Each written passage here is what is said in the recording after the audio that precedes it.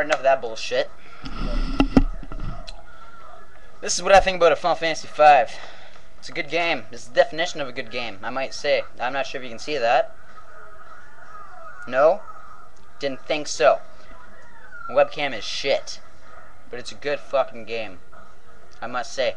There's only one thing that kind of pissed me off in this game was uh, when I was going through the final dungeon, or the second final dungeon or something, and uh, I got cocky. I saw a save room said, you know what, fuck it, I don't need a save.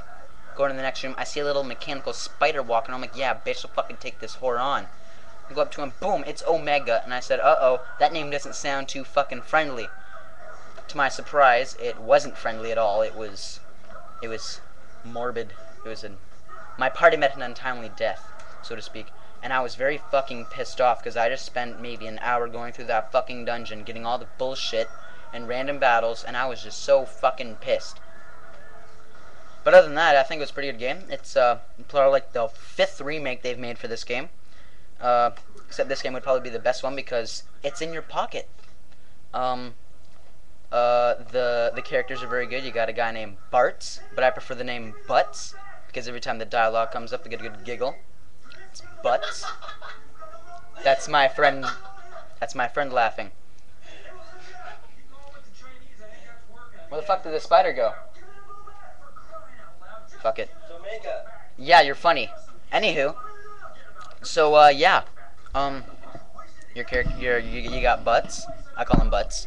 Uh, you got Alina, who's a uh, princess. You got Faris, who is a uh, pirate, and apparently you're supposed to actually believe that Faris is a guy until she reveals that she's not going to take off her clothes because she's got titties. And uh, yeah, I I was when that happened, I was like, whoa, she's supposed to be a guy. And, whoa, cross-dresser. Anyway, um, yeah, and so that was pretty cool. And then you got a 90-year-old on your fucking team for about half the game. Uh, that pissed me off because I like I like uh, my team to look pretty cool. You know, like in Final Fantasy VII, I had uh, I had Cloud, uh, Tifa, and Cloud has nice big sword. Cloud has big boobs, and uh, Cait Sith. Yeah, he was a cool character, or he or she, or whatever the fuck it was. Reeve, or I don't know, when he had a penis or a vagina, I don't know. Um, yeah, so back to Final Fantasy V.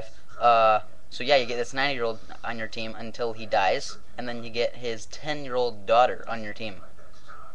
Yeah, that pissed me off a lot actually. And anywho, and so it follows the the same storyline actually. Um, you go around, you uh, you restore the crystals, and as you restore the crystals, you gain jobs, job classes. Uh, very familiar with the early Final Fantasy saga, and uh, yeah, so that was pretty cool.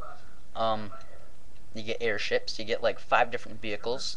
Uh, there's a good amount of side quests in the game. Good uh, Good, uh, yeah, it's overall good. And uh, when you beat the game, you unlock a bonus dungeon, which I don't, I don't have the balls to do it yet because I think my guy's on level like 50 something. Um, but yeah, apparently there's a, a Neo o Omega or whatever the fuck its name is, um, and a Neo Shinryu, which are I've heard are the ruby weapon and emerald weapons of Final Fantasy V. So, uh, yeah, I don't really have much to say about this game because it was overall a good a good drop. A good drop. If you don't if you don't have it yet, you go out and buy it. Okay? Alright. Um Yeah, it's a good game. Go out and buy it. Oh. And it's got the music player. No, no. Uh, I, I would turn it on and show you the awesomeness of Gilgamesh, but um no.